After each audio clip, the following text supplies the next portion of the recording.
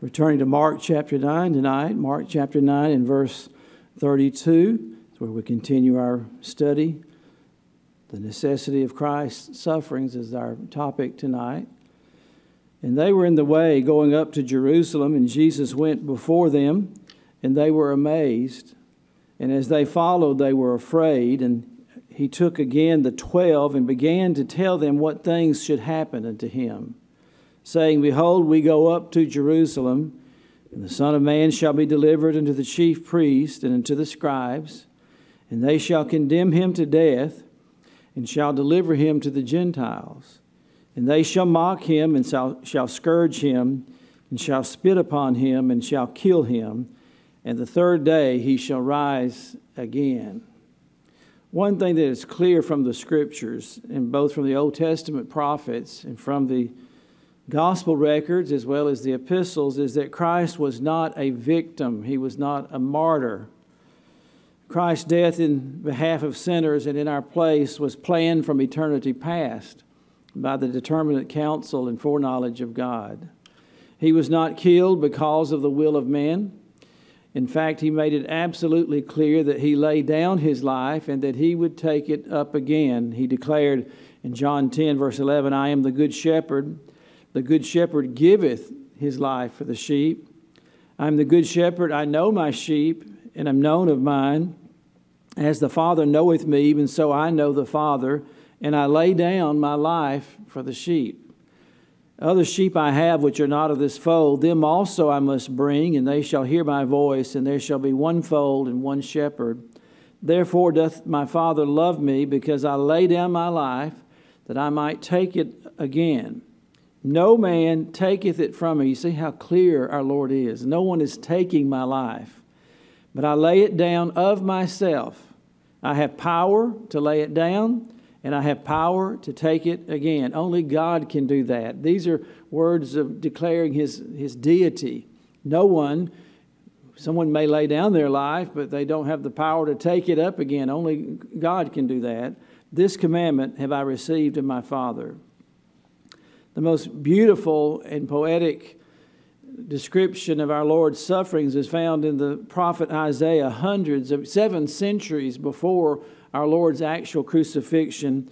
Beginning, if you'll turn back with me to Isaiah 52, some often refer to the, the Puritan writers referred to Isaiah as the fifth gospel because there's so much of our Lord concerning his coming to earth and his passion and we'll begin there in verse 13 of Isaiah 52. Behold, my servant shall deal prudently. He shall be exalted and extolled and be very high. As many were astonished at, his, at thee, his visage, his face, was so marred more than any man, and his form more than the sons of man. So shall he sprinkle many nations. The kings shall shut their mouths at him. For that which had not been told them, they shall see, it that which they had not heard, they shall consider. But who hath believed our report, and to whom is the arm of the Lord revealed? He shall grow up before him as a tender plant, and as a, dry, a root out of a dry ground. He hath no form nor comeliness, and when we see, shall see him, there is no beauty that we should desire him. He is despised and rejected of men, a man of sorrows and acquainted with grief and we hid, as it were, our faces from him. He was despised, and we esteemed him not. Surely he hath borne our griefs and carried our sorrows, and we did esteem him stricken, smitten of God, and afflicted. But he was wounded for our transgressions and was bruised for our iniquities. The chastisement of our peace was upon him, and with his stripes we're healed. All we like sheep have gone astray We've turned every one to his own way, and the Lord hath laid on him the iniquity of us all. He was oppressed, and he yet he opened not his mouth. He is brought as a lamb to the slaughter, and as a sheep before her shearers is dumb, so he openeth not his mouth. And he goes on to tell, look in verse 10. He it pleased the Lord to bruise him. He hath put him to grief. When thou shalt make his soul an offering for sin, he shall see his seed, he shall prolong his days, and the pleasure of the Lord shall prosper in his hand. He shall see of the travail of his soul, and shall be satisfied. The word propitiation, He is the propitiation for our sin, the satisfaction, the payment for our sin. By His knowledge shall my righteous servant justify many, for he shall bear their iniquities. Surely this could be referring to no one but Messiah, the Son of God, the second member of the Godhead. So specific, so graphic, the description of Calvary, seven centuries before the event. You'll recall that the angel told Joseph that Mary would bear a son and that he would be called Jesus, for he would bear, he would bear the, the uh, he would save his people from their sin. And that would be a sin offering, a, a sacrifice. This is not news. This is not um, of, of late. This is not because of the political climate of the day. This is not because of Jesus saying things that, that uh, the authorities didn't want to hear, although they were incensed by those things. But please never read the gospel accounts and think that this is some accident or something that caught God off guard or that Jesus was a, a victim, uh, a political uh, martyr. Nothing of the kind. This was the determined plan of God for the redemption of man. Matthew's account, Matthew, Mark, and Luke, the synoptic gospels, those who tell the same, primarily the same record, Matthew tells us the Son of Man shall be betrayed. So he adds that part that there would be a betrayal. Uh, and he, Jesus told his disciples there, Judas is one, hearing, knowing, I shall be betrayed into the chief priest and into the scribes. Matthew also records that Jesus' death would specifically be by crucifixion, the Roman method of execution. Luke writes, All things that are written by the prophets concerning the Son of Man shall be accomplished. Luke also adds of the disciples accompanying Jesus, and they understood or comprehended none of these things. That's the most amazing part of it all. Their lack of comprehending what Jesus was saying and this saying was hid from them, neither knew they the things which were spoken. Three different times in these so called synoptic gospels, Jesus goes over these same specifics about his coming death. It goes over their heads. And partially, of course, because uh, they did not want to hear it. Sometimes we only hear what we want to hear, even if, even if we're hearing the opposite. The words are coming toward us, but we're somehow transforming them in our thinking and our brain to mean something else. Our Lord was born to this end, and He knew the Old Testament perfectly because He was the living Word and because He was the second member of the Godhead. He has perfect and complete knowledge of all truths. Our text can be divided tonight into two headings our Lord's prediction of His sufferings, and secondly, the disciples' puzzlement over his prophecy. The Lord and the twelve are on the highway to Jerusalem, a place where many of the prophets had been stoned in response to their own ministry, their own God given messages. They, I think sometimes when we read the prophets, we may not fully appreciate their task. They were given messages directly by the Lord that nobody wanted to hear and very few ever received. There was always an immediate connotation or interpretation of the prophets, prophecy, and most all the prophets have a future yet fulfilled part to their prophesying. And that rarely were they received. Many of the prophets were stoned. That's how they were welcomed, how they were, how receptive they were of their, their messages in, in response to their God given message. How would you like to be told, go preach this message? By the way, you're going to be stoned because of it, but go give it anyway. And the writer of the Hebrews tells us and recounts that many of them, what they suffered because of their ministry. We suffer so little for serving the Lord. So little, little of us who minister in His stead as preachers and teachers and missionaries suffer so little compared to the Old Testament prophets. Matthew 23, verse 37, Jesus cries, Oh, Jerusalem, Jerusalem, thou that killest the prophets. That's how he addressed Jerusalem. You're the murderer of the prophets, and stonest them which are sent unto thee. How often would I have gathered thy children together, even as a hen gathereth her chickens under her wings, and ye would not. Behold, your house is left unto you desolate. He's headed to a snake pit. He's headed to a den of hungry lions, and he knows it. You'll notice in the scripture, Jerusalem is always referred to as up. It is done that way in a, in a spiritual connotation, but also geographically, it was up. It stood situated on the highest point of a backbone ridge of hills that run north and south between uh, Jordan, the Jordan, and the Great Sea in Palestine. It was the highest point. It was no uh, accident, again, that that was the city of God. That's on the highest point of Jerusalem was built the temple. The city cannot be approached from any direction without an ascent, without going up to it. And as one has noted, it was appropriate that one should be conscious of putting his feet on higher ground when approaching a place like that, the city of the great king, as Jerusalem is called. Now, already in our study of the, the Gospel of Mark, this is the third time that our Lord has alluded to, and not just alluded to, quite frankly told them that he's going to be killed. He had mentioned them at this event at Caesarea Philippi after Peter's confession. Remember when he said, Who do men say that I am? And they said, Some say you're Elijah, Elijah, Elijah and Elias, and uh, John the Baptist resurrected.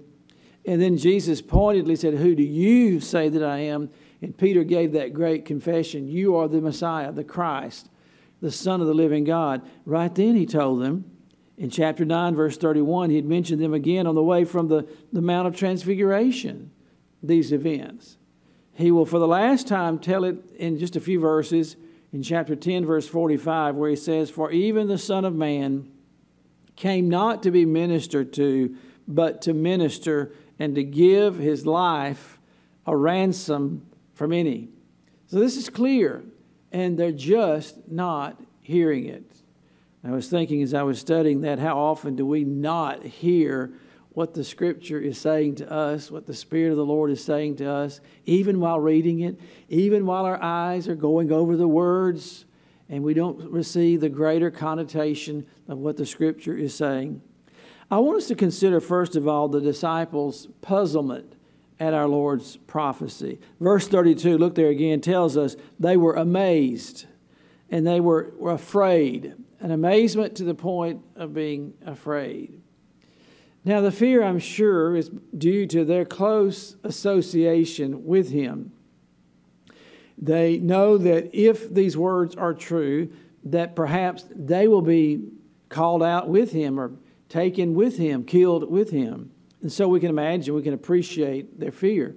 And not only that, for three years, they had been with him and dependent upon him, having left their homes having left their businesses, they were solely, had given themselves over to the ministry of the Lord to minister to him and for him, what would happen?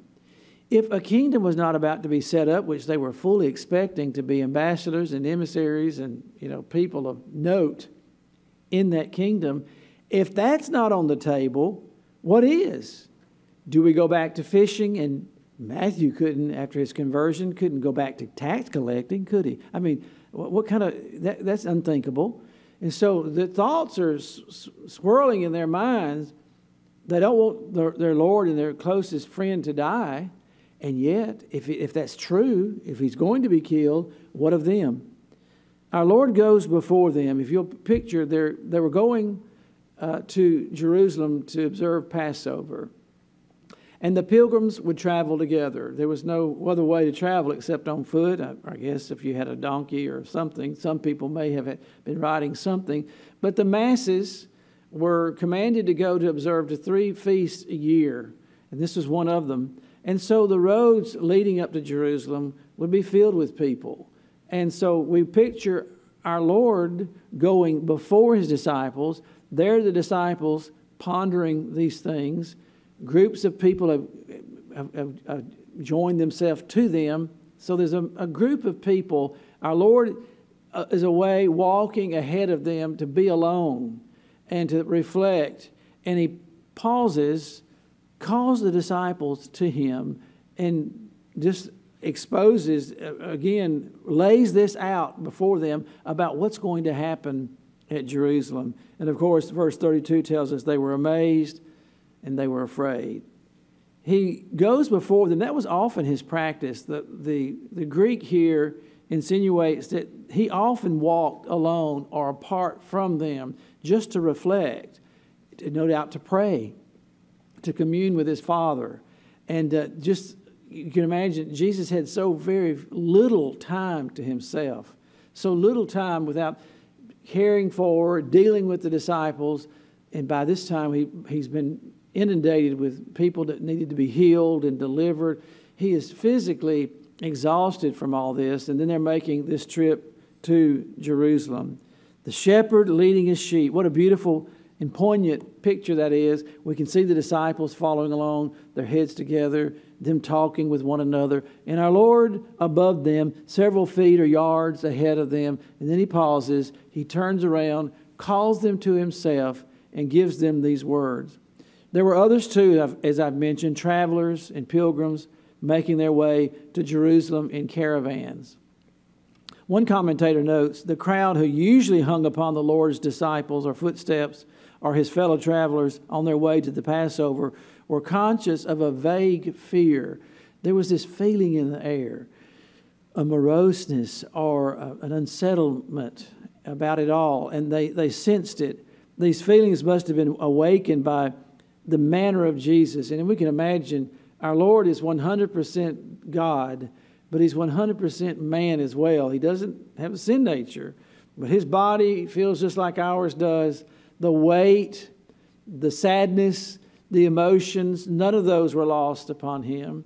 And humanly speaking, He knows what He's going to face at Jerusalem, knowing He's going to be spit upon, beaten, falsely accused, his beard plucked out, beaten, he says scourged here, and then ultimately crucified. I mean, th- that weight, which is nearing, the event is nearing, nearing, nearing. And so I think that they sense this heaviness upon him, and there's a pall, if you will, and the others are sensing it as well. Our Lord walks alone by preference, step and, and gesture revealing what was working within and inspiring awe, someone has written. I think they are expecting him to say something. There's this air about him of expectancy. He waits some morning, moments for the 12 to catch up with him, and then he reveals to them what lies ahead and, and them as well. He's preparing them for what's before them as well. Uh, in Isaiah 50, verse 7 says of him, The Lord God will help me Therefore shall I not be confounded. I, therefore have I set my face like a flint. I know that I shall not be ashamed. Jesus is going to accomplish what he came to earth to do. And nothing, not even the weight of it, the pain, the agony, the sadness, or anything is going to stop. Even his disciples' pleadings, as much as he loves them, is not going to deter him. Well, another commentator has noted we must try to understand the bewilderment and the fear of his followers. For this was a difficult experience for them as well. They're, they, they're losing hope and faith.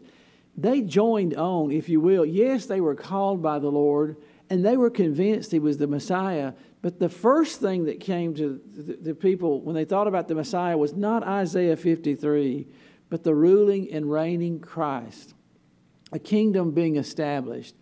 And they so despised the Roman domination over them. It, it slapped them in the face every day. It was repulsive for a theocracy such as Israel was to be, to have the pagan Romans there, the military presence. The Roman soldiers could command them to carry their bags for a mile from the city center, and they, they were under somewhat house arrest, if you will the, the authority of the Sanhedrin did not have its full sway as it did in the Old Testament days because they had to answer to the Roman domination. They were taxed heavily by Rome to pay for the armies and the roads that Rome built and the aqueducts and all the vast building programs of Rome. They hated everything about it. And every Jew knew, and, and cradled in their heart the fact that Messiah would come and right every wrong and set up his kingdom and would rule the world. We look forward to that. And so we know that, that how they expectant they were. And when they hear that he's going to die and be crucified, they can't, they can't reconcile the two. It, it doesn't fit. It's, it's opposite to what they have in mind. And so they had not planned on this. They, they'd heard it, yes. We hear things over and over again that we kind of put aside and hope it doesn't take place or pretend like it's not going to. And each announcement of his death only added to their perplexity, and uh, they were absolutely bewildered. What about the kingdom? How was that going to fit in? And hadn't that been promised and prophesied as well? They could not reconcile these two events in their thinking or the timeline. And we can imagine, we can appreciate that. We wouldn't have been able to either. They knew the scripture. Here was the Savior. They were convinced he was the Messiah. If he dies, what were they going to do? So we see the, our Lord's prediction of his sufferings and the disciples' response. Secondly, I want us to consider the prediction itself of his suffering. Where? In Jerusalem. That's where it would take place. Who? The chief priests, and the scribes, who ought to have known better. These men, the religious leaders of, of uh, Judaism, who were steeped in the scriptures, who could quote it, who had it memorized, absolutely all but a handful Nicodemus and Joseph of Arimathea, Simeon and Anna, just a handful of people received the truth of the Messiah. The chief priests did not and the scribes did not. What? They shall condemn him to death in a fake sham trial with hired um, you know, witnesses and distorted claims. They will crucify or demand the death penalty on blasphemy. And it hinged on him saying, Remember, he said, Destroy this temple, and I will raise it up in three days. Right over their head. He was not speaking of Herod's enlarged and beautified temple there before them. In the Jewish mindset, which was absolutely apostate at this time and legalistic, they the worst thing you could do was to swear by the temple or the gold on the temple. It was covered in gold. And when you mention the temple, as the Lord did or they thought he was referring to the temple, they called that blasphemy, and that will be the charges for his death that he said he would destroy the temple and raise it back up in three days. How dare him? It was a technicality. They knew he wasn't meaning that, but that's the grounds. That will be the, the charges that will be leveled against him. They will mock him, they will beat him, they will spit on him they will kill him, and the third day he will rise again. Now, to be that's the prophecy. That's what he tells his disciples. It's very plain, it's very simple, it's gruesome. There's not a whole lot of explanation to it. He just declares, he's forewarning them about what's going to take place. To be clear, these disciples were familiar with the Old Testament scriptures. These men were well versed in the Bible. They had heard it all their lives. They'd been to synagogue. All of them knew of the prophecies concerning Messiah. But because of the rabbi's teaching or lack of it or improper interpretation, like so many people who sit in churches all the time, they'll hear, I never heard that doctrine taught before because someone has absolutely gone around it or ignored it or pretended like it was not in the scripture.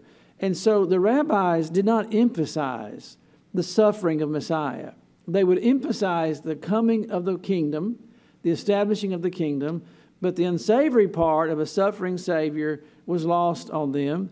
And remember that the rabbi put on the same level of Scripture the rabbinical writings, the commentaries of rabbis that went before them. And so that is what they heavily drew from and spoke about. And so they, they didn't have a true understanding of these prophecies themselves. So many people say, well, my pastor doesn't preach on this or that. And it's because obviously he either has a bias, if he do not preach the whole counsel of God's word, or he doesn't understand it himself. And that may, may be the case here. As one commentator noted, throughout his ministry, Jesus had challenged the rabbinic misinterpretation of the scriptures. He, he constantly corrected their wrong interpretations. When you read in the scripture where Jesus says, You have heard of old time, but I tell you, he is dismantling a wrong interpretation of rabbinic teaching. He's not disclaiming the Word of God, he is taking apart what the rabbis had taught about the Word of God, in which the people put on the same level of Scripture. And just keep that in mind. Your fathers said, he's speaking of the rabbis, their teachers, your fathers have said, but I tell you, he is the Word made flesh. It is His Word. He has every right to tell us what it means and to interpret it as He does. For one thing, the Old Testament sacrificial system, ordained by God, in Leviticus, and Exodus and Leviticus, and given in the Old Testament, every bit of it pointed to a, a final sacrifice.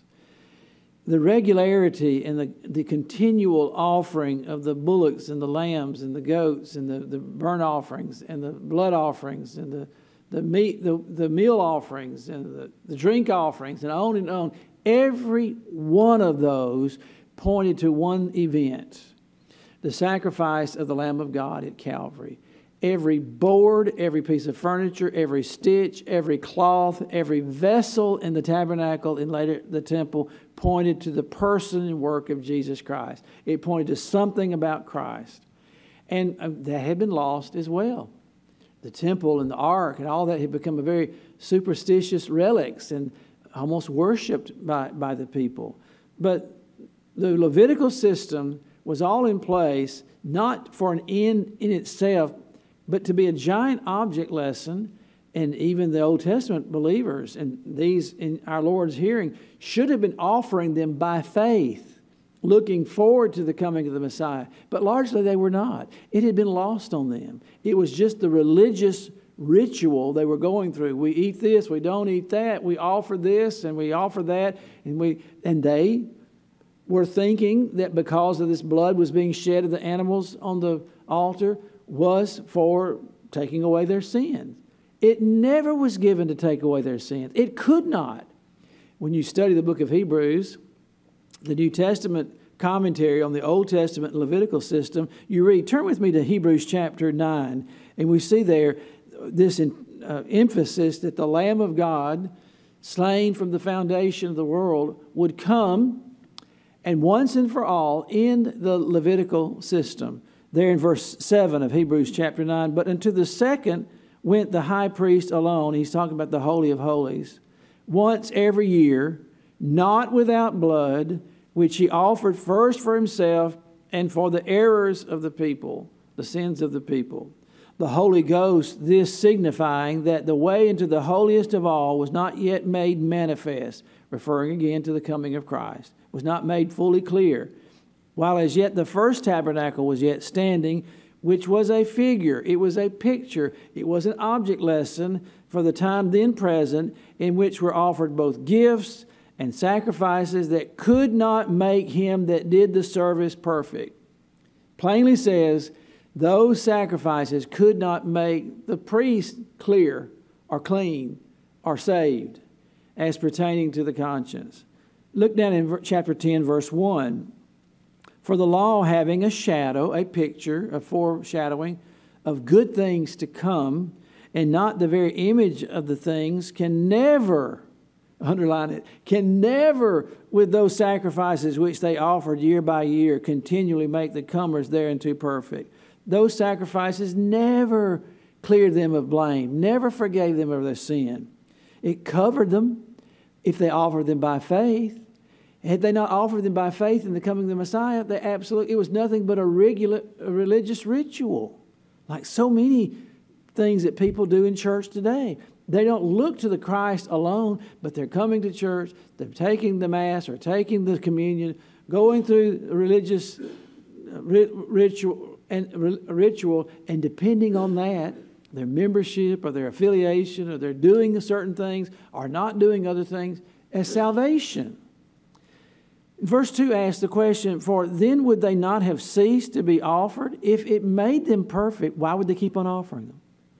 If those sacrifices could forgive sin, why were they keeping on doing it? Why were they continually, every day, there was smoke ascending from the temple. Every day, the incense did not cease. The meal offerings, the peace offerings, the drink offerings, the blood offerings continually were offered. If they ever could take away sins, why were you keeping on offering them? The fact that they had to continue to come shows it was a picture, it was a type for the offering that would come, the once and for all offering, which would be Messiah. Why were they why weren't they ceased to be offered? Verse 2 says, because that the worshippers, once purged, should have had no more conscience of sin. But they did. They went home, conscience still burdened, no relief, no peace. And so they came back the next day and come back the next ceremony, the next uh, feast day. But in those sacrifices, verse 3, there is a remembrance again made of sins every year, thus the Passover, thus the Day of Atonement. For it is not possible, verse 4 tells us. Oh, we must underline and underscore it is not possible that the blood of bulls and of goats should take away sins. What a definitive statement. It was not possible. They were not given to take away sins. They were given, much as our memorial meal reminds us of what Christ did, this reminded them of what he would do. And they looked forward to it by, by faith. It's not possible that the blood of animals, no matter how uh, pure and spotless, they were to be a perfect example. They could never take away sins. Verse 9 of chapter 10 of Hebrews Then said he, this is Messiah, the second member of the Godhead, Lo, I come to do thy will, O God. What was his will? To, to, to drink the bitter cup, every bit of it, to die in our place, to be a, offer himself in our place. He taketh away the first, the first testament, to establish the second, the second testament, the testament of salvation by grace through faith, by the which will we are sanctified through the offering of the body of Jesus Christ, what? Once for all. Ending them all, ending all the sacrifices. And every priest standeth daily ministering offering oftentimes the same sacrifices, which, and he repeats it, can never take away sins. But this man, referring to Jesus, the Messiah, after he had offered one sacrifice for sins forever, did something the uh, high priest in the Old Testament never, ever could do. Our Lord and Savior, the supreme sacrifice, who was not only the priest, the high priest, but he was the sacrifice in, in one. What did he do? He sat down. Do you know that the Old Testament priest had bells sewn on the hem of his garment? They rang, chink, tinkled constantly. The whole time he was in the Holy of Holies, which was shut off, they couldn't see what he was doing in there. They couldn't see the Ark of the Covenant. They didn't have a window in the side to watch what was going on. He had a rope tied to his waist or his ankle that went all the way outside. Do you know why? Because if he violated or did anything that was not according to the, the specified scripture, God would strike him dead. Remember Uzzah? He reached out and touched the ark. And so, because of that, they were in great fear that, that the priest could theoretically mess up and he would die. And nobody could go in there to get him. So they would have to drag him out. There was no chair in the Holy of Holies. He could not have sat down even if he got wore out and tired midway through. But our Savior, the Lamb of God, slain from the foundation of the world, after he had finished and cried out, It is finished, and died and rose again, what did he do? He rose to heaven and did what? He sits down in the most majestic, honored place in all the universe, the right hand of God the Father. There he sits our advocate, our Savior, making intercession for us, showing his wounds for his purchased possession. He's building his bride, the church. There he offers his and reminds when Satan comes to accuse, oh, no, no, no. We sing that beautiful song of Wesley Arise, my soul, arise, shake off thy guilty fear. The bleeding sacrifice in my defense appears. He shows his wounded hands And Father, Abba, Father, cry, we can cry. Well, he sat down and he's sitting there today until the Father says, gives him the word and he'll come for his own. Keep in mind that they were going up to Jerusalem to observe the Passover. On the way, our Lord pauses and informs his disciples of these very things. The very event which pointed to the great work that he was born to accomplish, the payment of our sins and our salvation. They shall mock him, they shall scourge him, and shall spit upon him, and shall kill him. And the third day he shall rise again. Praise the Lord for the glorious gospel of our Lord and Savior Jesus Christ.